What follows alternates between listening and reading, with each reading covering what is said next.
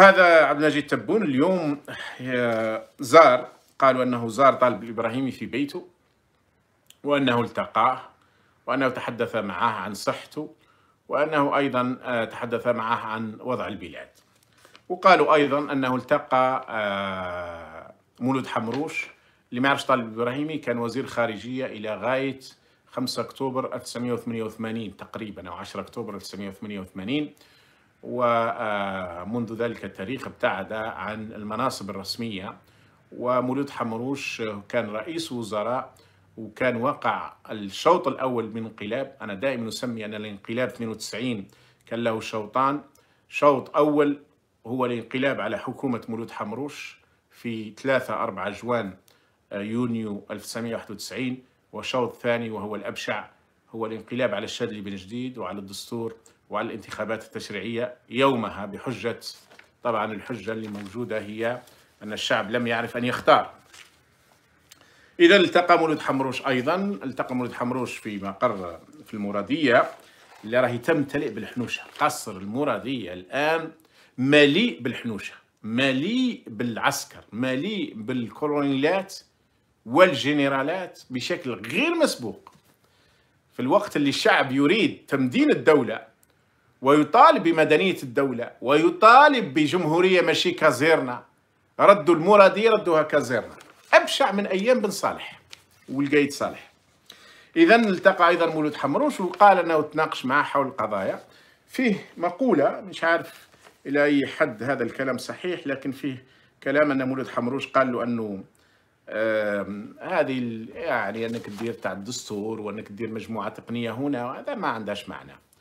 وأنه في الحقيقة إذا كنت بالفعل تريد التغيير والاستماع للشعب الجزائري فعليك أن تستمع لشعارات الشعب. وشعارات الشعب واضحة. الحقيقة أن مولود حمروش وطالب الإبراهيمي لحد الآن وابن بيتور على على سبيل الذكر فقط آه، يقفون مواقف آه، ممتازة. مواقف آه، كان ينتظرها منهم الشعب وبالفعل يقومون بها. نتمنى أن يستمروا على هذا الثبات وعلى هذه المواقف. وقد قالوا يعني مولود حمروش قال في في في نتذكر في 5 أكتوبر لما راحوا يشوفوا بعض الناس ويطالبوا منه انه يترشح إلى آخره قال كلام قوي. قبل ذلك كان قال كلام قوي. يأتي أحيانا أن يخطئ فننتقده وعندما يحسن نقول له أحسنت. هذا هو الموقف دائما آه، مع مع مع الناس مع الرجال. مع البشر آه، لكن من حيث المبدأ صراحة مواقف مولد حمروش وبن بيتور وطلب الابراهيمي مواقف معقولة جدا ومهم أن يثبتوا عليها لأن ثباتهم عليها هو تثبيت أيضا لأنصارهم أو على الأقل الذين يرون فيهم مواقف جيدة. نتمنى هذا الثبات وإذا كان تبون بالفعل يريد أن يستمع فإن مثلا طالب الابراهيمي وقع ثلاث مبادرات آخرها المبادرة اللي عرفت بمبادرة العشرين أو 19 واللي كانت تقريبا فيها خارطة طريق إلى حد كبير يعني. إذا كانت ذاكرتي جيدة وكنت ناقشتها في وقتها أعتقد أنها كانت في سبتمبر. إذا آه، إذا كان تبون يريد بالفعل حل ويتجه إلى حل فإن آه، هذه اللقاءات قد تبدو لن تذهب بعيدا يعني.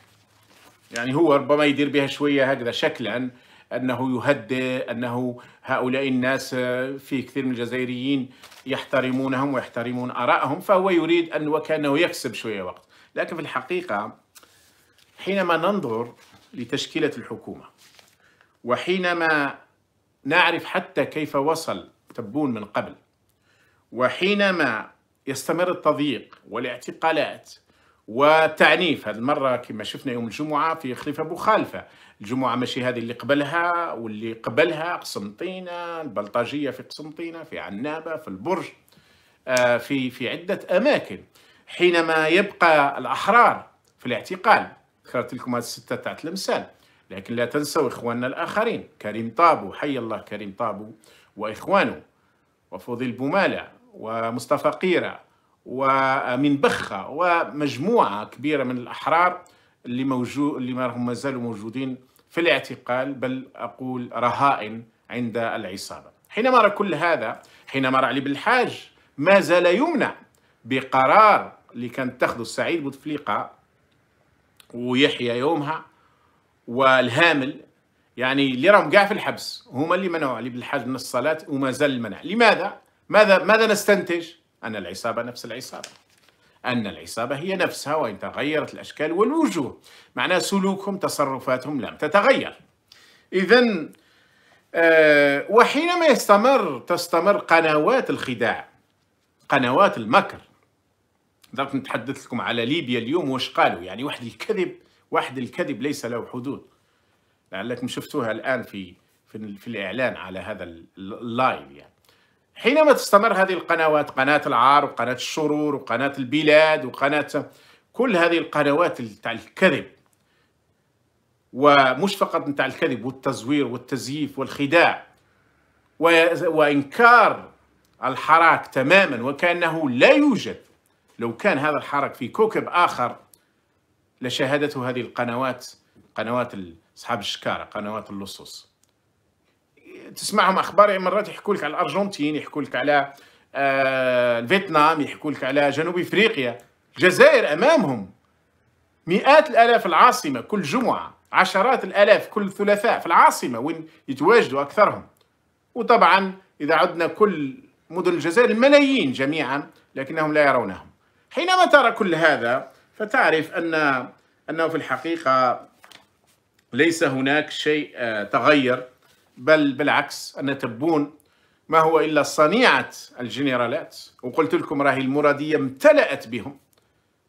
قصر الرئاسة امتلأ بهم أكثر من أي وقت مضى. أنها دولة حنوشة. أنها دولة عسكر. وأنه هو واجهة. حتى لو كان يكون عنده حسن نية مطلقة. في النهاية هم اللي قرروا ما يمر ولا يمر. هذا الشعب علاش خرج الشعب خرج في 22 أكتوبر في 22 فبراير لكي يبني الدولة المدنية. دولة العدل والحق والقانون. دولة وين العسكر؟ هم في الثكنات وفي الحدود للدفاع عن البلاد. وليس في مقر الحكم. وليس في مقر الحكومة ولا في مقر الرئاسة ولا في الوزارات ولا في الولايات ولا في الدوائر هذا حكم سفيه. هذه ولاية السفهاء. هذه وصاية على الشعب الجزائري. هذا استعمار ثاني كما قالوا حتى كبيرهم. المقبور قايد صالح. هذا استعمار ثاني. هذا احتلال. لا لا يمكن لا يمكن أن تستخدموا الجيش والشرطة والدرك لاحتلال البلاد ولقهر الشعب بالعصا وبالشرطه وبالدرك وبالمخابرات وبالقضاء وحتى بالأئمة أحيانا اللي لا يستحون بعض الأئمة لا يستحون يجعلون رزقهم أنهم يكذبون.